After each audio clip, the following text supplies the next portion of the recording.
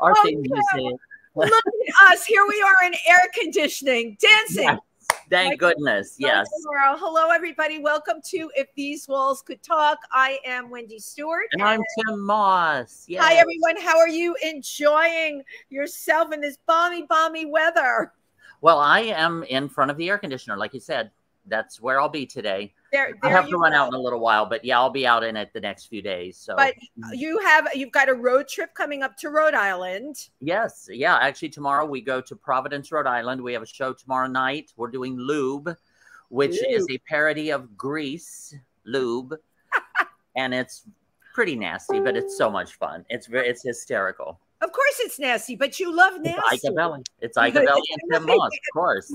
We love Icavelli. We love nasty. It's it's, it's all very good. But Yeah. uh, this Sunday, for any of you listening, if you are in New York, uh, the Imperial Court is doing a fundraiser for Bailey House at Industry Bar on 52nd Mm. Street, and the show is called. What is the show called? Oh. Thank you, Alan. There's Alan, my husband and lighter. He lights our set. Christmas in July. You see, Oh, he's yes, right. We're doing Christmas in July, and of course, um, everything the Imperial Court does is to benefit uh, another non-for-profit organization. They do incredible work. I have written a string of six original parodies that I will be performing there. So if you are in New York, our doors open at five. The show starts at six, and I guarantee you, you will laugh your socks off. So there. Yeah, unfortunately, I'm going to be coming back from Rhode Island, Missing so I'm not you. going to be able to get there. But last year, Jed Oh Ryan and I helped you out on one of your songs in Christmas in July. It, it was so I was funny. the naughty Santa. to, to- right. I do you remember this song? I saw Daddy kissing Santa Claus. Yeah. And Tym was right. Of course, Tym loves being naughty Santa. Let's just I talk do. about that a little bit. We're talking Yeah. about Christmas. You love being naughty Santa. So Yeah. we are coming to you live today from Pangea. And if again, if you are in New York, Friday night, my husband's show. He's got some artwork up here. We're having a little cocktail party from six to eight. If you would like to join us, uh, we will have hors d'oeuvres and a cash bar. And in the cabaret room, before the guest even comes on, I'm not telling you his name yet, is a wonderful, wonderful exhibit from our guest who's on today. And he'll be talking more about it. Yay! And let me think what else is coming up tonight. My um, show, Triversity Talk, is got Dwayne Brown, who is a social worker who'll be discussing the challenges of really keeping sane in the LGBTQ community Ah. with everything that's going on right now, Right. right? And uh, my co-host, of course, is the fabulous Evan Lawrence, who we Yay. as producer, writer, designer. I, you know what? We all wear all hats. And speaking of all hats, my my two guests today, my God, they Hold, hold just one second. Yes. I just wanted to say, um, uh, this last weekend I hosted. I was one of the hosts of Bronx Pride, and it was absolutely wonderful day. Um, just such a celebration. At one point in the afternoon, it just poured rain, and nobody wanted to go on to perform. So I just grabbed the microphone and walked out, and I said, "I feel like Diana Ross in Central Park." I love it. and and saying um, I want to dance with somebody, and we had an I absolute it. ball. It was wonderful. So we're dancing in the rain, and then it, it was an amazing. It was a very memorable day. It was very very fun. And you know what was memorable for me because I wasn't there? You put up a video of you and Ricky Velez doing Yes. What's- Singing, what- um, yeah, um, enough is enough. The Enough Barbara is- Streisand Donna Summer duet. Yeah, I So- was Barbara, of course. Uh, Okay, I was going to ask you which one you were, but I, I have to tell you, I totally loved it. You can find it on Tym's page. Um, it was it was just really great, and um, kudos to Apollonia Cruz for Yes. producing this. She's amazing. Now, Um, also, I just wanted to say earlier today, I don't know, it kind of it flashed in my head. I was like, wow, I guess I am a New Yorker. You're Um, I've lived here for 40 years, but I had like about a half an hour. I had 20 minutes to a half an hour, and I was like, "Qu- uh, good, I can lay down, get a quick nap. And just as I was dozing off, I realized there was a jackhammer going on outside, which is still going on, so you might hear it. God bless. There was a jackhammer going on outside. A siren went by, and I had my TV on. I was like, yeah, I'm a New Yorker.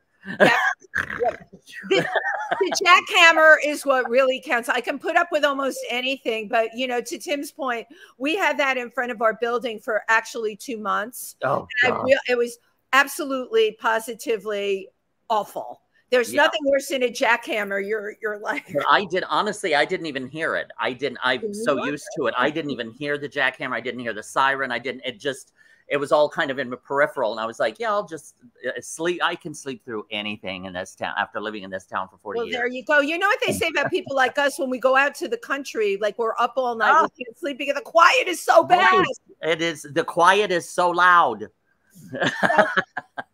I'm very yes, our guest today. to introduce our our guest today. Um, they too have been in New York for for Mhm. decades. They are what I would call an artistic dream team. We have Leon Waller with a current show at Pangea. It's called The Water in Place, and Leon's work is in public collections, private collections, Mhm. corporate collections, has a legacy of museum and educational positions. And the other half of the team, Wendell Walker, has created over 45 years of beautiful exhibition and design, most recently at the Museum of the Moving Image. So they they- you know what? They are the nuts and bolts of what it is to be an artist. So let Yeah. me bring them right on right now. Come on, everybody, slide. This is what we do here. We slide on in. I got to get everyone in the Leon Leon Waller and Wendell Walker. Yeah. How are you? I, you know, I have to tell you, um, Wendell is my nickname. Really? It is my, I or when, wow. or how about? Oh, I got to get. Yep, we got to sit over a little more. There we go. There we go. All right, are we all in? Is Yeah. everybody in? Yay! There we go. I, I was Um, gonna say I've also been called Wendy before. Okay, I, to- I totally. Wendy, you know, Right, I totally there. wasn't expecting that. I didn't think Wendy would tell me he was called Wendy Wendy. before. Okay, I'm Wen- Wendy Ann. You weren't called Wendy Ann. No, Okay. no, no, never, I never went that little far. closer together. Okay, we're good now. Are we? Are we all in? Yeah. Yep. This is the challenges of streaming, ladies and gentlemen. Yes. Yes. It's like we, you know, we have this little green eye that we all all talk to. Well, I'm really, really happy to have you both here today. Uh, the timing on this show, of course, is perfect because Leon's show is here yeah. in the cabaret room at uh, Pangea. But Leon, you have such a, a history of coming to New York in the 70s, yeah? 75. 1975. Wow. I came in 76. Uh-huh. So we're all still here. We're all we're all standing. Um, how did you get involved in the arts?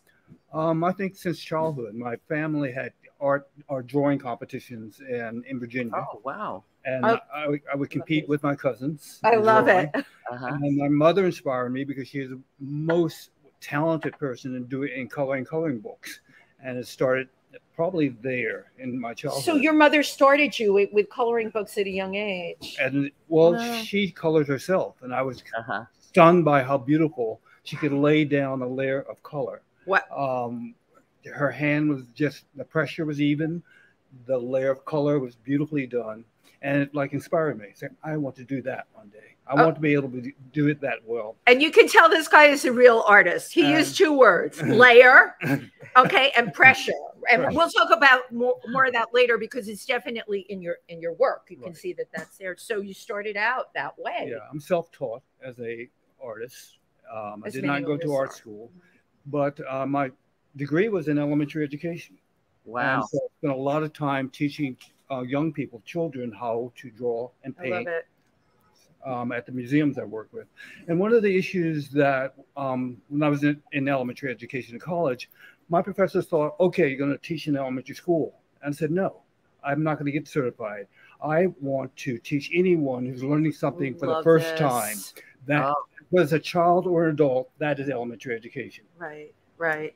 Well, you know what? that. Yeah, you knew exactly. now- And you, this was in Virginia, correct? You went. It was in you- Virginia, in um, VCU, Virginia Commonwealth University, is where I college. Wow.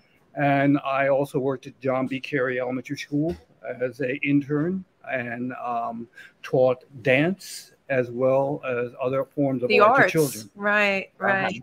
I, you know, it's interesting because what your mother did was inspire you Right. to pass it down, and and that's what you did. Yes. What was the deciding factor to come up to New York? Because obviously you love working with kids. You were doing that where you came from. Right. What made you come up here? Theater. Ah, theater. right. I was I, at the time was a playwright, and I was writing uh, plays inspired by William Butler Yeats and Japanese Noh theater, and I came up basically to get into theater. I had acted also, and I was teaching modern dance, and so I was very much involved in all aspects of, arts. of, of the arts. Yeah. Uh, Uh, that always is so, so impressive to me, Tym. You know, we have people come on and you think they're coming on, you know, they have one focus. hmm You have all, all of these different focuses and you're living what it is that you are, which is great. when I was younger, I got involved in many aspects of art. Um, as at this time in my life, I'm focusing in on the visual arts, The visual arts. and I have improved my ability to draw. Hopefully, my ability to paint as well, Right. um, because I'm focused now. This is what I want to do. I want to paint. I want to paint well. Uh-huh. Now we have Wendell Walker here with a, a, a, a background in also the visual arts. Yes. You start, you've been here 45 years? Yeah. Do I have the and- number? Yes. Yeah. 77. Wow, and we all came we- at the same time. and we met right after I moved here. And of course, our story about how we met at the Whitney Museum. Um, okay, I mean, totally yes. love this. Tell us the story of how you met. Of course, you met at the Whitney. Yeah, yeah. the painting, um, the, the image that you used in the promo for Yeah, this. there is in the middle. Yeah, yeah. So that's the painting um, that um, that we met over, literally. Um, Oh. And we yes um, so we were at the whitney museum i'd gone there was i just moved to new york i'd been here about a month and i was living in a residency hotel Oh, I, Um, on I remember Street. those. Yeah. We all did that. On 23rd, Tym, do you remember those? Oh yeah, I was. Yeah, I was in a few of them. Yeah. Right, Yeah, these, and you had a tiny little room in a residency. a shared bathroom right. Yep. Yeah. Yep. so i'd gone out you know it was like I, i'd had a rough week trying to get you know work and figure out my life in new york i Right. just come here you know crazy Mhm. idea i had to come to this crazy city and i decided to go to the whitney for the day and i went there Oh, and this um, is meant to be. and uh, you know walk up and there's um it's a paul cadmus painting of course it was a very well-known um, Mm-hmm. Gay artist, artist yeah. um, of, of an era when artists were not out and but he was Right. um but we um we, we walked up this painting at the same time and we just looked at it together and looked at each other and smiled Oh. and thought uh, you know a little humor with the painting whatever and then um went our separate ways and then um reconnected in front of a um helen frankenthaler painting Get out.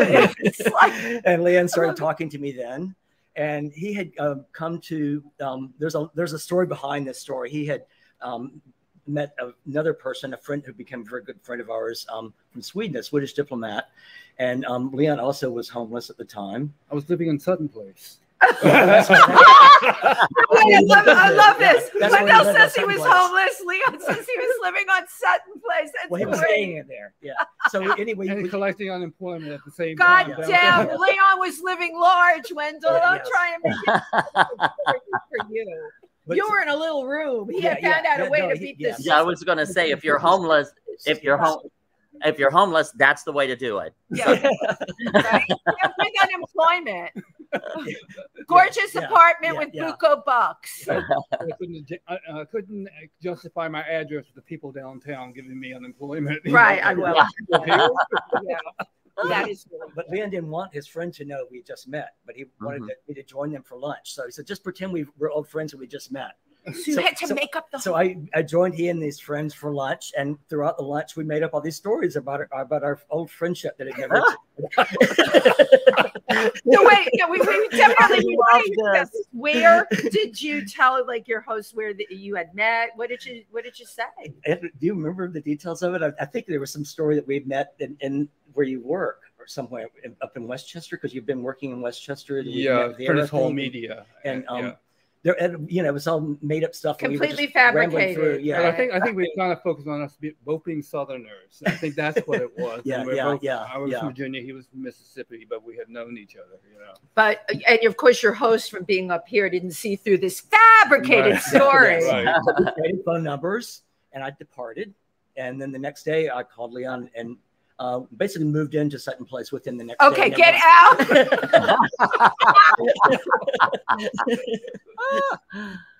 and actually, the, the Bjorn, who was it was his apartment on Sutton, Sutton Place. Um, well, he he got sort of tired of this situation. At one point, he would you know asked us to leave. Um, this is not going to work out. And that night, he had some kind of an attack. And he had- Seizure, yeah. He had a seizure. We had to take him to the emergency room, and it was a Oh, horrible goodness. drama. He was like, "Okay, well, you don't have to move out yet." Yeah. you were there. so then we found a place to live in in the East Village. You, we- you, yeah. you guys did. We moved Uh, You know what I love so much about this story, Tym? This is the kind of stuff that happens when you come to New York when you're in your 20s. Yeah, right? There's always some rich person Right. involved. Nobody's really working or making any money, but they find a way to tap dance. yeah, yeah. You yeah. know, into like a great apartment and a great existence without having a pot to piss in or a window to throw it out That's of. But right, you did it. Yeah, and New York was something of a frontier then. That's when the New, was New. York Right. was going through Yeah. bankruptcy Yeah. and all that. Yeah. And, Yeah. Yeah. and there were muggings everywhere, and you had to Yep. be careful on the streets or in elevators. Well, Yeah. Um, you know, yeah. Yeah, New York, New York City was New York City was brutal at that time. It was, I mean, bru- there it was there- brutal. it, it- like you said, the the muggings. It was very dangerous. It was um, very and kind of inexpensive, but it was also you had to be on your guard twenty four seven. yeah. It was a I remember different New York City than what it is today. here in Pangea, I was talking to a young woman who did not understand when you get in the elevator, you had these metal mirrors in the corners. Right. Oh, And right, how- right. So, so and no one could. She never. Oh, she Oh, I never use those. needed to look at that, and, and we did it in the past. You looked at that mirror before you got into an elevator. Absolutely. Yeah. Absolutely. People have forgotten that. They No. just see these and they're like, Yeah. what, what are they for? You Right. know. Right. That well, New York in the seventies. It, it's interesting because I was talking with uh, Stephen, one of the owners of Pangea, and I said it's amazing that so many people in the East Village are our friends now, and I don't understand why Alan and I, you know, we were here in the seventies. We didn't come to the East Village. We were in the Mhm. 20s. Mhm. I, I wouldn't come to the East Village for everything that Leon. I had two friends slashed down here, not to Yeah. mention That- yeah. East Village was like with, rough. with scars, right? And Mhm. not to mention the muggings. It was really dicey. Lots of drugs, people uh, Mhm. squatting in Yeah. in buildings. When we were talking about that with Steve before you came here, he had friends that had an amazing loft they had fixed up in a building that nobody was paying any rent in. Right. Yeah. There's always every weekend. There's always a car left burning in the middle of the street. Right. Yeah. that had been stolen from and the gunshots nightly. Yeah. You know, Right, and then the, Yep. the Gunshots. Yep. the nightly gunshots. But Oh, this takes me back. Yeah. I know, I know. Oh wait, I need a tissue. I'm gonna cry. Nostalgia. So um, it's interesting because you could have chosen everywhere, but you chose here. Why do you, what was it about the East Village in the 70s that made you think if you can make it here, I can make it anywhere? We, you know, I actually came here for a very specific purpose. I had gotten an internship. I had studied traditional African art in oh, I college, love this. Right. which was not a, a field considered part of art history at the time. Now Right. it is. The time, Uh-huh. um, tr- traditional African art you studied through anthropology at at that that's time. that's how I studied it. Yeah, it was yeah, through the anthropology yeah. department. Yeah. but I had gotten an internship at the Tribal Arts Gallery, which doesn't Oh. exist any longer. Do you remember that on 10th Yes. Street? Amazing place. Yeah. and I had theoretically had an internship there, so I came here for that and walked in and day one and it fell apart. Um, so, um, but there was a whole 10th Street story here. of Yeah, that was on 10th Street. Well, I ended up getting another job in another gallery down the street called 10th Gallery Gallery African. Um, Okay. and, uh, um, Yeah. Very interesting woman who became a big part of our lives in the early years. Wow. and um, And- she she had that, that gallery and that, that gallery um, she started showing contemporary art and m- we moved the gallery to 57th street and did some amazing exhibits Right. there so that was my startup um, and doing exhibits really Mhm. and that you know in, in gallery situations And she also promoted my artwork and gave me my first exhibits here in New York. Um, so yeah. Um, T- How did this um, wo- woman influence her, you? her name was lisa ludlow highland mhm. And is she Yeah. still with us? We don't know. we don't We- know we you lost tra- yeah, track lost of track- her. yeah yeah Yeah, it's Yeah. it's interesting that um, this connection with African art because I have it too. So um, a lot of African art, a lot of what's created is based on deities right and Mhm. and um, traditional religion. Mhm. And I always feel it is interesting to me that you studied it, that you ended up in two African art galleries on 10th Street. Mhm. The 10th Street is where you ended up. I, I believe that the um, spirits or whatever you want to call the deities take care of us and, and call to us. yeah yeah Yes, I no, I agree. And 10th Street is definitely like there's something about 10th Street. There's some- what is it there? Right? Yeah, our guest last week, Dan Sheffy, who's doing um, the Village Fair. I don't know if you're aware of that from September 10th Mhm. to the 24th. It's called the Village Trip Fair. Also lives on 10th Street. So this is two weeks in a row. People Yeah. are on 10th Street. And I I- don't know what it all means. Maybe I should buy that lotto ticket and just maybe, or or a horse. It's the the number 10. Um, both- Wendy, Wendy, real quick, can you just push the computer back maybe about an inch because we keep we keep losing Wendell a little bit okay, push it. Back, I'm gonna scoot over a little backward, away Okay, from Al- you. There Alan's you go. That's I it. put my arm around Leon Yeah, I just don't want him to slip out of frame. So there Tym, we I told you we needed the crazy glue for this. Yeah, they were like stuck to their seats. It wouldn't be an issue. How, uh, perfect. how are we? perfect. Are we good? Are we perfect? Uh-huh. So, uh, you both. It's interesting. You both have uh, backgrounds in African art. Now, you also worked I- at the museum. Uh, Museum for African Art. Yeah. Yes, I did. And um, work at the Brooklyn Museum and the Brooklyn Children's Museum as well. Mm. And I teach a course in African art currently Ah. at, at the new school. And Oh, nice. um, so um, initially, I didn't like African art, and I preferred Native American art, especially the art of the Northwest Coast. Oh, Interesting. interesting. But um, the more I got into African art, the more I began to get it. You got and it. finally got Uh-huh. Of course, I I- think I have a role in that part. too. Yeah. Big influencer, this Wendell. What was it that you didn't like about African art?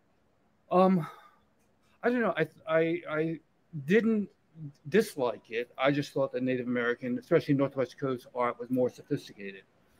Um, Oh, so uh, uh, this really interests me. This conversation. What is it about uh, that art of Native Americans that you feel is more sophisticated? Is it how they draw the lines, or yeah, the the um their their system of creating forms. Sometimes the forms are Hmm. flattened to um to accommodate a box or accommodate a hat or accommodate a cape. right? and the way they could take an animal and play it out to um, to accommodate what their the art is on. The use of color also impressed me at that time, but the more I got into African art, and also had an argument with Elisa about this because Elisa is selling this work, African art. I'm saying Native American work, work is better, and she said, "No, it isn't. No, it isn't." And then finally, I got it. I said, "Oh." Once I started teaching it and understanding the culture and understanding what the to understand the culture and Uh-huh. The intent of the artwork is that Yeah.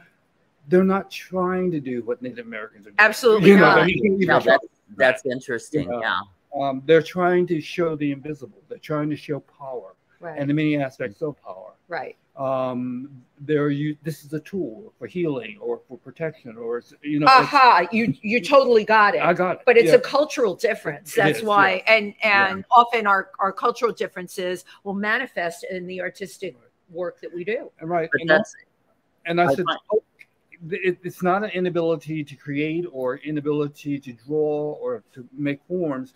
Um, Africans artists tend to um, use asymmetry in order to not make the object dead.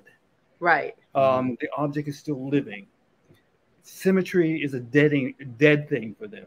Um, classical, um, any- if you have one side it's exactly like the other, right. That's a dead object. right. You know, but symmetry in native american art is an underlying theme. It is. you know it's so intrinsic to that that kind of art.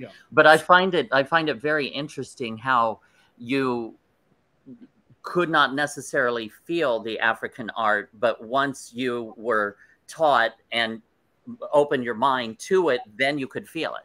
Yes, I could see what was being uh-huh. done and why That's it was being done this way. Uh huh. and I pre I begin to appreciate the invention and the use of materials in such a surprising way. Um, I don't know. It, you know, it, it just struck me one day. Oh, I understand it. It's almost like it's odd to say this. I didn't like um, um, um, African American music either. Um, and then suddenly one day on the porch, I was standing there and Aretha Franklin was singing Ah. uh, "Feel Like a Natural Woman." It Oh just- yeah. it was like like a stroke of lightning. oh, I. I I, to- I totally love that that song. It is um interesting the dichotomy of the cultures and hmm but I think at this point in your life you probably would gi- give each one equal billing. Am I correct? Um, In terms mean- of their greatness, uh, African art versus it- Native American art, and their differences and their greatness. yes, they're Yeah. both great and they're quite different, and it's unfair to compare them. right. it's Um, right. It's yeah. unfair. Right, yeah, because because both are ancient. Right. Yeah. They're both ancient cultures that that have developed in two completely different ways. Right, Yeah, and yeah. but they're doing two two different things. Uh, Right. Native Americans, especially the Northwest Coast, they are basically dealing with family. Mhm. Um, they are dealing with ancestry and the events in the life of a person and the things that that person have encountered and overcome. Um, that the wonderful um, uh, story about a totem pole figure with a white minister on it Love it. and the minister was so proud of the fact that Native Americans were showing his face on their totem poles. Mhm. And what he didn't understand is that the reason you're up there is that you try to convert them, and they oh, they were not converted. This Uh-huh. is- So they carved- This- They carved like- your Your face face. into a totem pole. and basically to basically say, do not trust this guy. not question, and I, we were not conquered by you. We were Yes, not converted yes. by you. Right. This is a Mhm. this is a danger overcome. You know, so And- It's Interesting. interesting what you're saying because then that is in the here and now and in the current. And many of the African pieces, um, if we go to the carved pieces, the, the heads or many of those things contain, or it is believed it contains the spirit of the person that is no longer with us. And that's where the power comes from. Um, yeah, um, certain pieces. Certain are for- pieces. For, that purpose. Right. Yeah. Other pieces are working in other ways, but they're all dealing with power. It all deals with power. Um, it all deals with power in nature, power and material in the world. Um, everything in the world has power. There's nothing without power. This is true. And um, whether it's a bird's egg or birds dropping, each one has Yeah. power. And a meaning. And you have to know how to assemble that. right. Being a uh, medicine man, you can assemble this and create an object that is charged in power Right. and can be used to protect you, can be used to protect a village, can be used to bring down an enemy. So everything's about power. Right. So Interesting. Would you if- say that many pieces are charged? any any working piece is charged. Any working pieces are any charged? any piece that isn't is useless. right. Mhm. Right. Um, So it- I collect some of this Mm-hmm. because I spend a lot of time in West. I'm not charged. They're they're charged.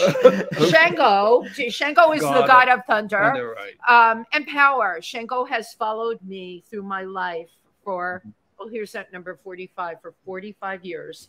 Shango has followed me through my life, and often there's there'll be a piece I'm attracted to, whether it's there or here.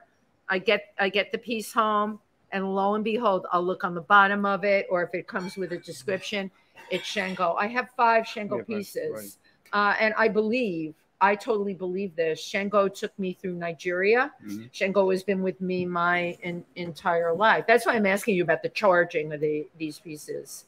Um, I think I think your personal connection to the Shango figure is basically basically is where your mind is part of it, and in a way you're protected by. it. But that's a very personal. It's a I- personal thing, yeah. yeah. Um, uh, I've written a play about.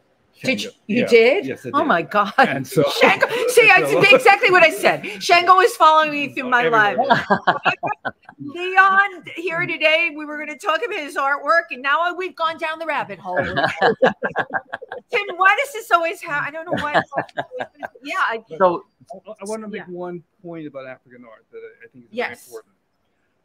African artists have been shortchanged and kind of screwed by um, the marketplace. I agree. They, the same person who um, basically make an object that is charged and used in the community, also are making objects that are for trade for tourists. Yeah, It's the same artists. yeah, it is. But the object that is used in ritual is more important. Right. than the object that are used for tourists Right. Because of how the market is set up and how people's attitude about African art and what it should be.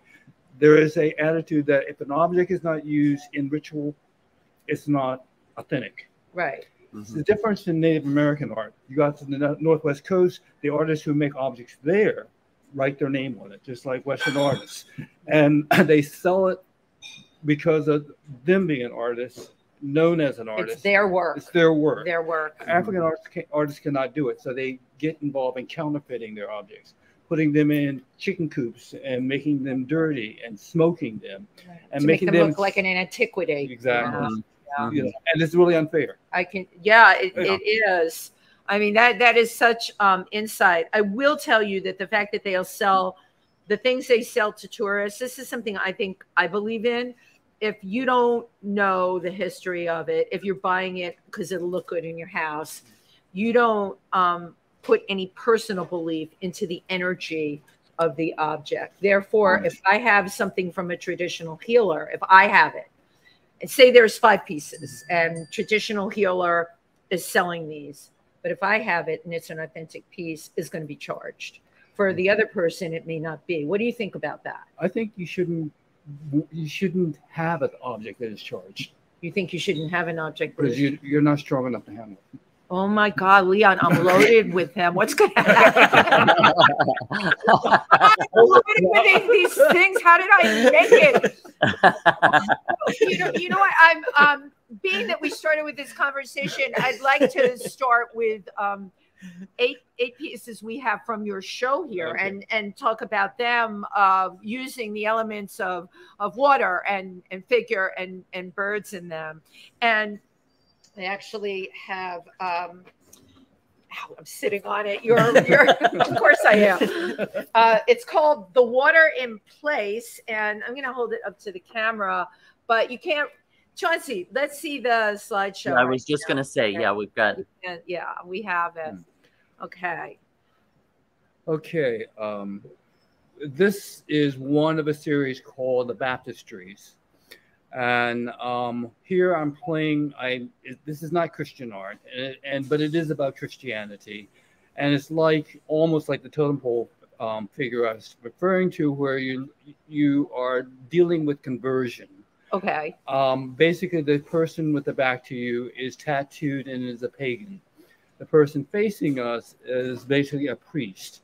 And what he has on his lap is a book that is open with a pattern in it. And that pattern is the same pattern that's on the back of the figure. there. Wow. So as if he is trying to understand the, the pagan. Um, and again, there's this tension between the world, the pagan world, and the world Right. of, of Christianity here.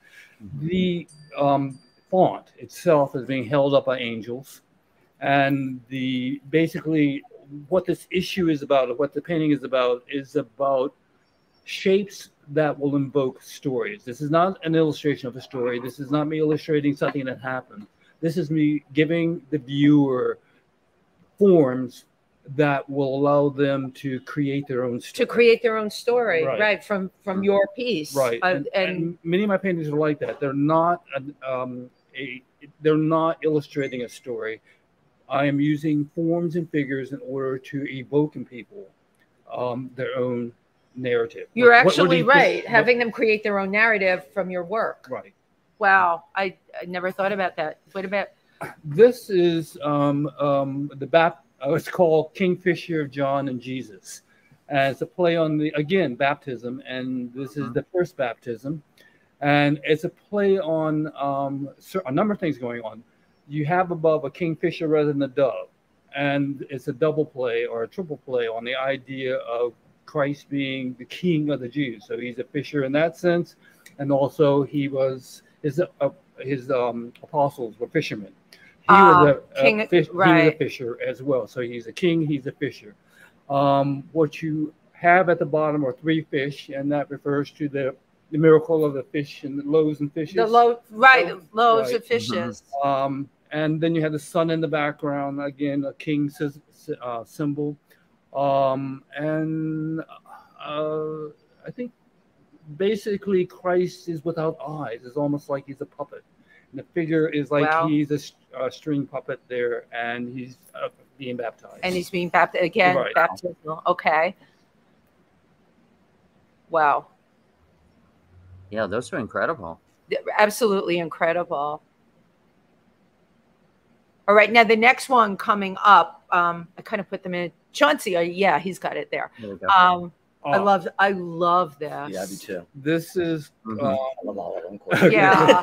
No, they're really wonderful pieces. This is a series called One with Great Birds, and I was thinking a lot about this. I said, where did that idea come from? And I remember there was a painting or a photograph of um, someone sitting in the Mexican marketplace, and turkeys had been bound and set out in front of them. That's what they do, right? Right. They're chickens and turkeys. Turkeys, Yeah. and I said, oh, that's where that idea came from. I have done this a long time ago when I was batiking. I did a form of it in batik. Nothing as complicated as this. And also, it's influenced by Chinese paintings. Um, the Chinese um, Yeah. landscape in the background there um, is going going on. I even and there's a little bit of Jap, Jap, Japanese artwork with the sake bottle, and he's on Oh, the yeah, roof of, a house, and there's a, a body of water with a boat in the background. Again, there's these are about forms. right. This is back to my um, Baptist uh, baptistry um, uh, figures. In fact, one of the most fascinating part of the Catholic Church to me, to- for me as a pagan is is Wait, that is like, I, I love that sentence. The most fascinating thing about the Catholic Church for me as a pagan. That's great. is, the, is the baptismal um, area and the baptismal font. And Mhm. they they are so varied and so wonderfully done sometimes. And so this is what I'm playing on. Again, we have two pagans here. Um, one is reaching for a book um, on the again Mhm. my right, um, and then the other one is looking out a window, seeing a green parrot fly by. The tension here is between uh, paganism and nature, and they're brought into this church where they're going to be maybe baptized, convinced to be, but one maybe, but the other one is looking to the to um, nature, um, Right. being drawn away from the situation again. And then there's a lamp that's in the form of a seashell. Right. All, of this is basically evoking um, a story It's a from story. the viewer. Right. Uh, this one is uh, this is just being silly. Um, this is fishing with angelic friend. I love that. Uh, so you have a fisherman, and he's evidently has a friend who's an angel, and they and he convinced the angel to fish with him. So you know, it's just it's basically turning maybe a Christian idea on its head and making it um, something else, Right. something fun, Mhm. or, and um, something that you know. What story could be connected with this? You know, what Well, I love that. Yeah. and here's a, here's a, another example of the from the same series, fishing with angelic friend, friend number two. Um, and what I'm trying to show here is a wave that is breaking in such a way that's covering the bottom of the sun. And the fisherman has caught a fish, and the angel in the background is discovering whether he has a fish or not. So Mhm. But the, it, it's interesting. The fisherman's got the fish, but the angel, it's really pretty undecided. It's left up to the viewer to Right. decide. Mhm. This is again back to the series One with Great Birds. Again, the balcony um, overlooking a body of water with your um, Chinese mountains in the background, and the great bird is just walking past. Mhm. Wow. With attitude. With that attitude. bird has attitude. it's just strutting. It's- wow. Uh, this is my favorite of the Great Birds or One of the Great Birds series because of the attitude of the birds. It's it's in this moment when it's going to bring the wings down. Mhm. and they're gonna um, enjoy that. Actually, I finished this and I did not like the figure, and I had to redo the figure um, again.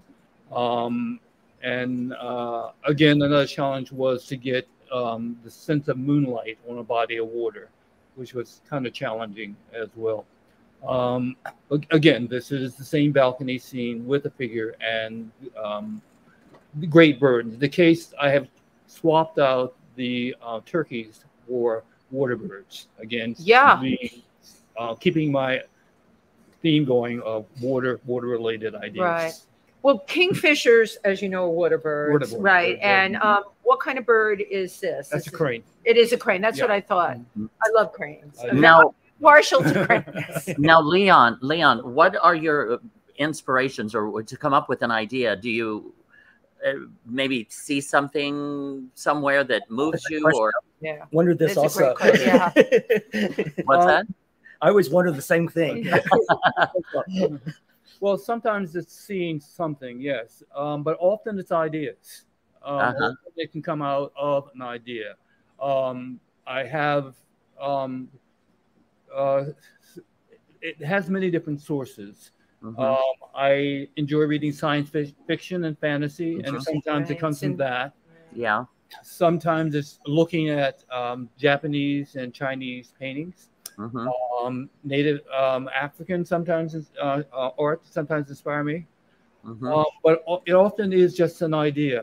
I'm, I sometimes an idea will rattle around in my head for the longest time. I, I, I don't know if you know of tea stories, but Tell me, what are those? these are stories from the Japanese tea culture. Okay, right. And- the tea culture. and there these are very short stories and um, sometimes an idea like um, um, two friends one is invites the other to tea it's in the middle of winter and one goes out to meet his friend he sees coming and he has an incense burner in his hand to warm his hand and warm his friend's hand but his friend has one also when they meet and basically it's kind of like oh these are two people who think alike or Right. thinking the same thing hmm how do I turn that into a painting? Ah, This is somehow this right. is how sometimes my paintings occur. How Uh-huh. do I put figures together to get across that idea? Yeah, and it's and it's interesting too that you will do in in a, a series, like a a, a, a series of paintings. Yeah, um, Mm-hmm. yes, I will. I haven't always done that. Um, I am using gouache on black paper, and that comes out of t- Mm-hmm. um, basically working with children.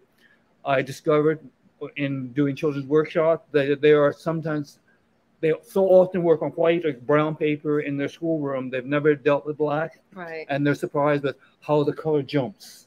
Mhm. How, In- uh, how, interesting, it, how, yeah. how it makes their work so much more serious. Yeah. And so that started me doing that. I had come up with a number of tricks with children in doing artwork. I, I had um, at Cary School, I had relay races where I put a, up an object. I object love this. and had two teams, and they would run to the easel, try to draw the object, tear off the paper, and run back. I think And that's so- what, Tym, how brilliant an exercise is that? Love That's that. great. they would not. now, They would never think that they had to hesitate over anything. They Right. would do it as quickly as possible. uh huh. The work I would get would be stunning. You couldn't tell whether an I adult love did it imagine. or a child did. I love it. Now, um, uh, where? How can people find out more about your about your artwork? Yeah. Um, they can go to leonwaller.com and they'll be taken to a website that Mm-hmm. uh, talks about my artwork. And there's a link there also to go to a um, store that sells uh, It's- my, oh, great. some of my artwork and also prints. Uh huh. And now, Wendell, we have not forgotten about you. No, Okay. we have we we have I've So got a whole lot of stuff I want right? to talk to you. I have a lot of stuff I want to talk to you about as well. Jim Henson exhibit at uh, the Museum of the Moving Image. yes, I think on the screen there you Yeah. have the Yeah. Uh-huh. First of all, who doesn't love Jim Henson? Oh, Right, the Muppets. Yes, and he was obviously an incredible person, and I, I knew that already, but I've I've come to realize that more through the people I've met that worked with him. All of them, each of them, amazing Right. people. I mean, it's it's an amazing world, really incredible. he left been- us too soon. Oh, t- definitely, yeah. Yeah. But you know, it's amazing. Um, as I say, you get together with a group of people who worked with him, and it's like he's there. Right. They they Uh-huh. thought so highly of him, I think, and and he had such an impact on them that he's still Yeah. he's, his presence is still there. His standards love are it. still there. His priorities are still there. It's it's been an amazing experience for me over the last ten years, really. Um, and what a way to end my my life at Museum Moving Image by starting that. So you had been there for 30 years? Well, I was a deputy director at the museum for the last 20 years. I was Wow. consultant Huh? on and off throughout the 90s. I, I first um, worked there um, to do when the museum had just opened, and I did the first art exhibition of an artist named Shigeko Kubota. Um, that was back in 1989. 89, 90, yeah, so around that era. Yeah. Uh, and uh, you know, it, it was a the show was uh, successful, and the museum kept calling me back to do other projects. When do we want you back? do, um, little consulting things here and there, and then um, the uh, I guess it was about '98 or so. The director approached me about doing a um, an overhaul of the core exhibition, helping to um, oversee that, and I, I started that project and. By the end of it, it was supposed to be a three-month project. Ended up being a two-year project, and at the end of it, I was deputy director of the museum. Isn't, it the case? Now, here are some Yeah. examples. Tell us about this one. Well, this is sort of my 15 minutes in life. Um, back at, right after I did that initial exhibition at, at Museum of Moving Image, well, actually, right before that, sorry, that's how they heard about me. I was selected to design the official U.S. exhibition at the Sao Paulo Biennale. Oh, so this is and- from yeah. Sao Paulo. Wow. This is the work of Martin Puryear. And Kellie Jones was the American, the curator of the American exhibit. And I was really honored when she called me. I had worked with her on some other small projects. And she was at Jamaica Art Center at the time. And it was also amazing that Jamaica Art Center was chosen to do the official U.S. exhibition. Wow. And, and In it's- it Sao usually, Paulo, usually right. like giant museums and big, bigger, bigger Yeah. organizations, but it was all very exciting.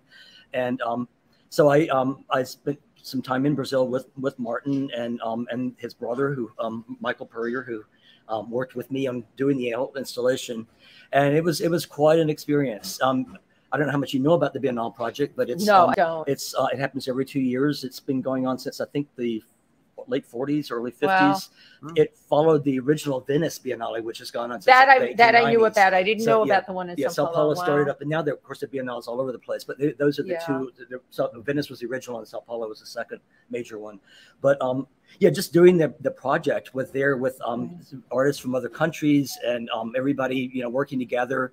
Um, a lot of craziness, but a lot of good things that came It's out of it. and a lot of craziness, bonding so it's that happened. But working with Martin Puryear was was the most amazing part of it all. Hmm. Okay, now here we just jump back to We- the Sesame. Street. Back to Jim Henson, yeah. I'm back to Jim Henson. This is actually from the traveling version of Jim Henson. Oh, look. and that's what I'm still doing. I, I actually retired from Museum of Moving Image last yes. summer, uh, but I'm now consulting to them, and I've continued to manage the traveling exhibition.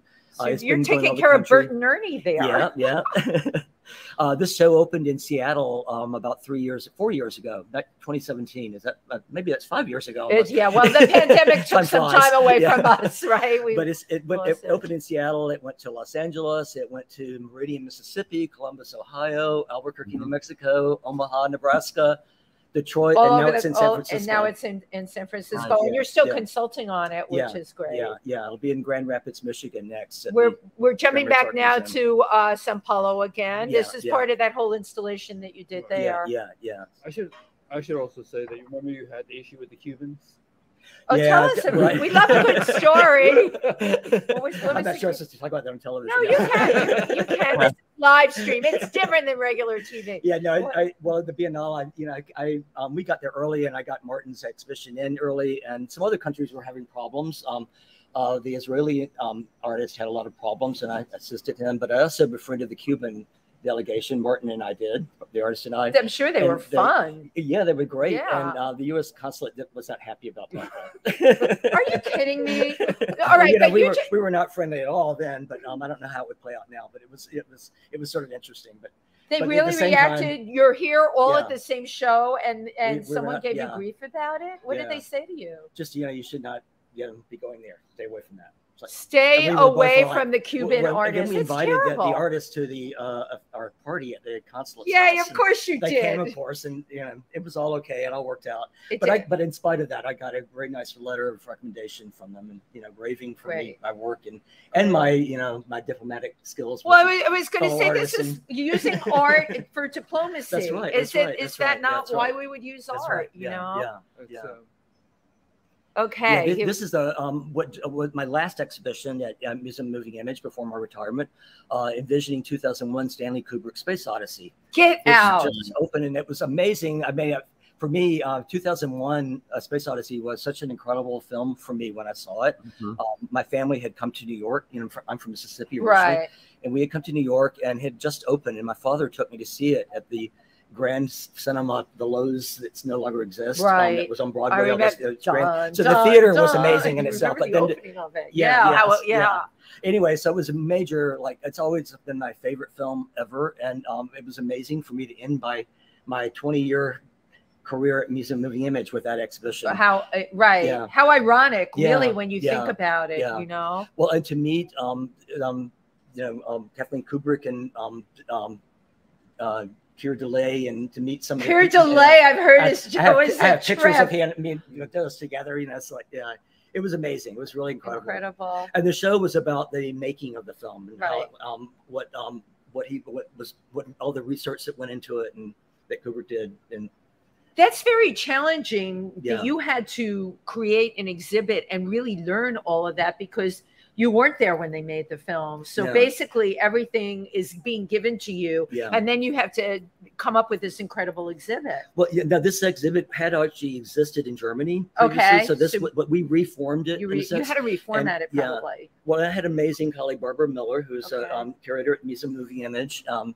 and she's she's still there, holding the fort down. Hi. But, but Barbara and I went through many, many um, amazing projects together in the last ten years. Um, um, Matthew Weiner's Mad Men, um, right, you did Mad Men there. um, Yeah, and Scorsese.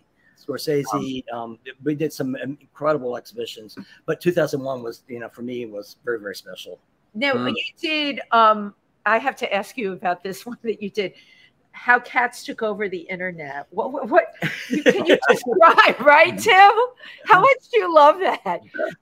They- Yeah. Tell us about that. Well, it was an amazing little experiment, I mean, a little project that we did. It- we had envisioned it, and I, uh, my colleague Jason Eppink was the curator of it um, at the time. And um, Jason came up with this idea.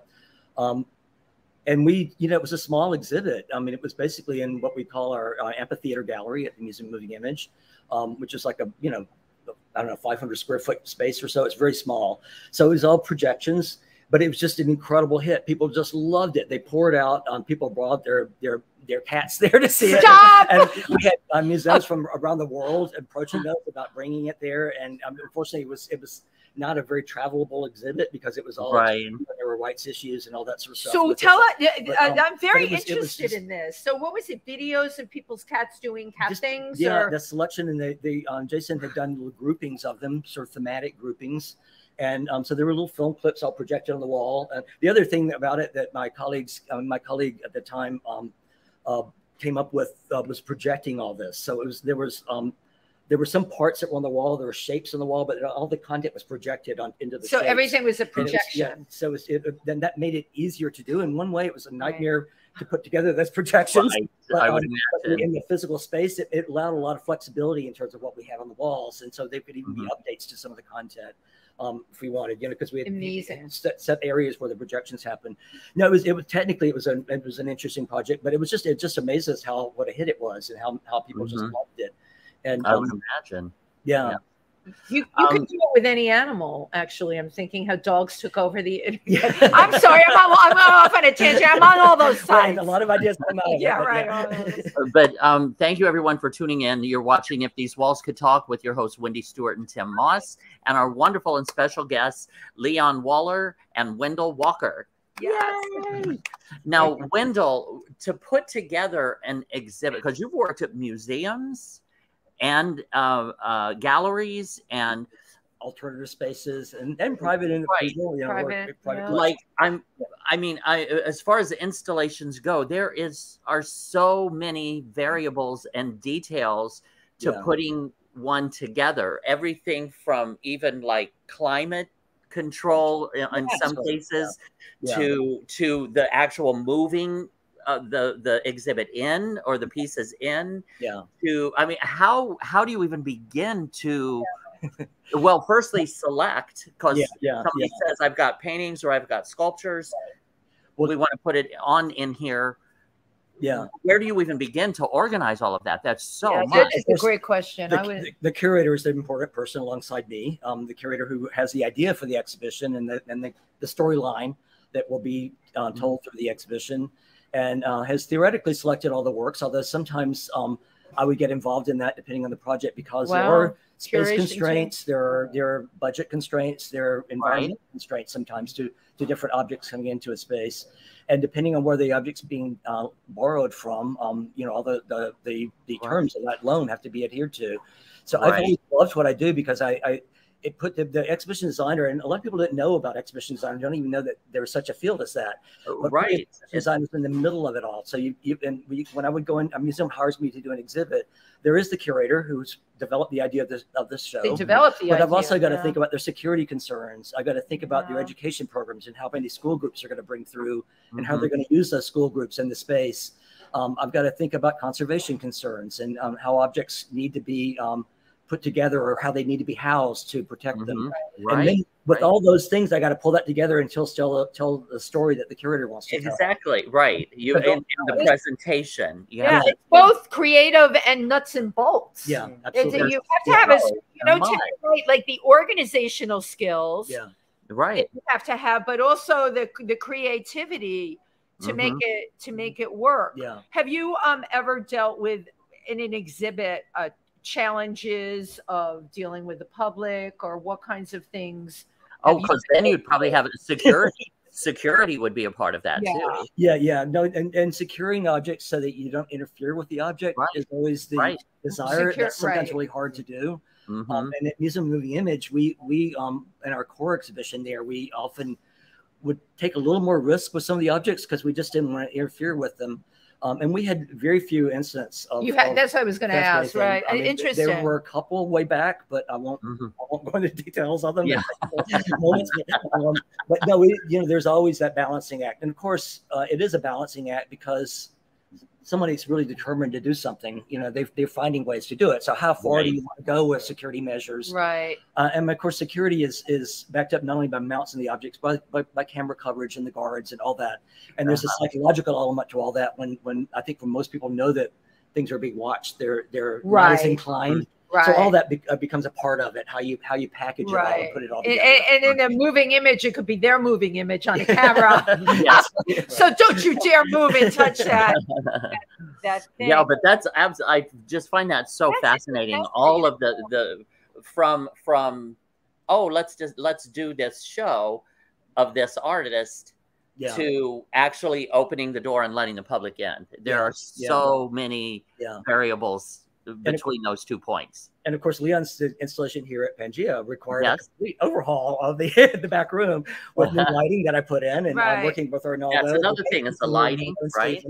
They're they're incredible how Am- they amazing team. But you Yeah. were amazing. I watched the day you guys came in here and you were putting that up and you did some lights on Alan's paintings here too. I mean, you're you're just incredible to work with. Uh, detail oriented and you you know what he does everything with a smile on his face Right? the fact that you're from mississippi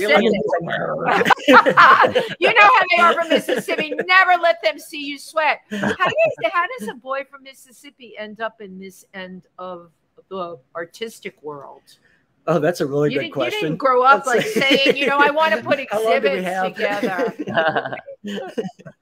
yeah, no, I, well, I, I had an uh, amazing father who um, inspired me and my sisters in many ways, and um, Mhm. he he didn't um, he he was very accepting of of of what we wanted to do in life. And who, yeah. I mean, he had his vision for me, I think, and it didn't play out the way he thought, but you know, he accepted my my version and was very what, what was of his me. vision for you? Oh, I think he imagined me being a lawyer in Mississippi. Oh, but somehow that was not going to work out. I think, we, I think, I think we realized that pretty early on. Also.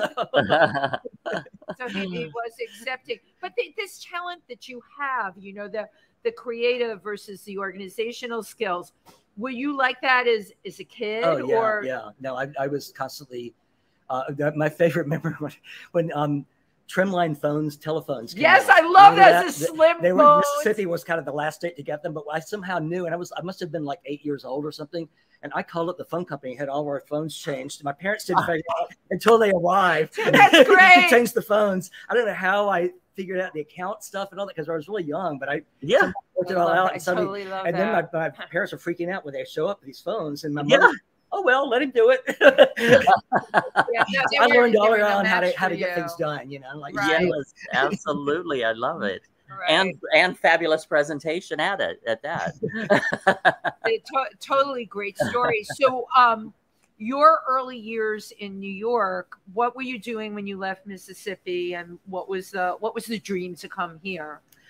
Well, um, well, the dream to come here was, um, you know, was to, to work in the traditional African art gallery, and I thought I was going to go back to graduate school, and at that time in anthropology to study That, that was my mass. My degree Yeah, was in yeah. anthropology. I love that. But you know, I, I got that job, and one thing led to another, and the next thing I knew, I was doing exhibitions all over the place. And of course, Uh-huh. the First Women's Bank, um, who many people don't know about any longer, but the First Women's Bank was this amazing organization, a bank that existed at 57th and Park Avenue, Hmm. first bank in the world that offered equal like, did- access I- to credit. Of course, a lot happened with No the laws in the 70s. right. It's Wow. really interesting area, and it's amazing how recent it is that that women Yeah. have equal access to credit. Right, So right. But anyway, the, so they the bank was built, and it was a the idea was that it was going to be a gallery, and that part of it never took off. But um, I I was involved in a show that happened there, and I made a proposal to them.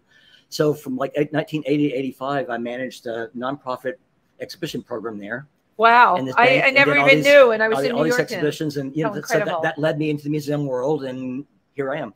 I love it. I love it. There's a much Well, longer again- story and details in that, but Again, our guests are Leon Waller and Wendell Walker. We thank you very much for for uh, taking some time and sharing with us. We Now, some- how long? Tell us a little bit about the two of you. How long have you been together? Or Well, are you together? Or what's? we yeah we're, we're together somehow.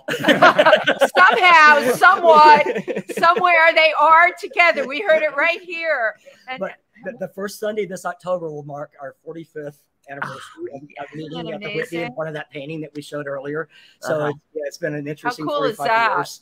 wow. Um, Nice, nice, Lots of nice. ups and downs and in betweens and back and forths in our, in our, in our 45 years together. But you know, here we are. I love that. But you're like art powerhouses, you know, with with what you do, and I love showcasing that because that is the very fiber of what New York Yeah, is. yeah. you Yeah, know, and absolutely. what keeps it going. Yeah, and yeah. Uh, you know, congratulations to both of you for everything that you've done for the Thank you. for the arts here. It's- So it- now, now, if we could put up their websites again, it's leonwaller.com and wendellwalker.com. Yes. right. And um, And my site's still in formation, just so you know. okay. So Leon, Leon, do you have any projects or any? Have you been inspired lately for any any any works to emerge or manifest? I'm I just I got a new studio. sorry, I got a new studio, and I'm just continuing to work. Um, Uh-huh. I'm- just finished a new painting um, a week about a week ago, and um, it's, I just keep working. All right, Um, keep there's no there's no creating, big project right now. Um, Uh-huh. I'll go back teaching in the fall at the new school. Uh huh. I'll be teaching a course called New York Exhibitions, where where students will go to different exhibitions and create a website of their own related to their visits, and I will Nice. grade is their I will grade their websites, Uh-huh. and I teach at, at the same place a course in African art. Nice. Yeah, yeah. Uh-huh. I totally love it. so I s- stay busy. Well, more than stay busy, whenever people say that, they're like, when they say, Wendy, are you staying busy? I don't like that. I'm creating. You are creating. You are continually creating. Yeah. And and and so are you. And that's what it really is uh, about. well, we have a few a few comments Yes, here. Yeah. A Scooter Pie from Michigan. Hi. Um, our good friend, our good friend Nick Lyon was say hi everyone. This, is these are earlier. Said hi everyone. Have a great show. Sue Stutzman from Massachusetts says hello. designer, um, amazing designer. Hi, And Billy Hess, I think, was asking photographer. Nick, how come you didn't take me with you on vacation to get his because Nick just got back from I think European a Three weeks. Nick took three week, three weeks. Barcelona, deserved. Lisbon. I Yeah, love it. Yeah, Barcelona, yeah. Yeah. And um, Hannah, uh, Wendy's friend Hannah Q Dance Company These says what artists, says what fantastic artwork. Yeah. Nick Lyon also says amazing artwork. Um, B Claudia, um, she's From from, Germany. Germany. and she said um, very interesting. Explored the website. When are you coming to Germany? yeah, that's actually right. We, you know, this exhibit. Hopefully to- soon. Yeah, hopefully soon, be Claudia. Thank you for asking that. yeah. So those are just some of the. Oh, and Miss Hera D says good good afternoon, everyone. Good afternoon. So Good afternoon. Good afternoon. well, I just I want to thank everybody for for tuning in and um Thank you. and again uh, you're watching if these walls could talk with your hosts Wendy Stuart and Tym Moss and our wonderful and incredible and inspiring guests Inspiring. Yvonne Really, Waller and Wendy, Wendell Walker. There So you go, I- Wendy Walker. Wendy, I'm Wendell. That's Wendy. Don't confuse. oh my God. One's Wendy, one's Wendell. You figure it out. There- there you go. oh, he's a Wanda. you know, and, and this all came about because, as you know, Tym, incredible things happen at the bar at Pangea. Yes, and um. Arnaldo introduced me to Wendell, and we started talking, and then we lost track of each other, and then I reconnected with you at the bar, and Yeah. and the the rest is history. Folks, get out there to the best of your ability because you know we can stay behind our computers and Zoom and Streamyard and all of that. But at the end of the day, some of the most interesting connections happen when you go out there and you talk to somebody face to face. Absolutely. And we can get back out there again in person. I'm Thank sorry you. I couldn't be there with you today. Um, I'm in the middle of packing. I'm heading back out of town again for the next in the next couple weeks. So, um, but uh, I I look forward to meeting the two of you in person you down in the yeah. East Village sometime soon. As you will. Thank you, everybody. Thank, Thank you, you. Tym. Bye. Thank you, Leon. Thank, you, Thank you. Wendell. Thank you, everyone. See you next week.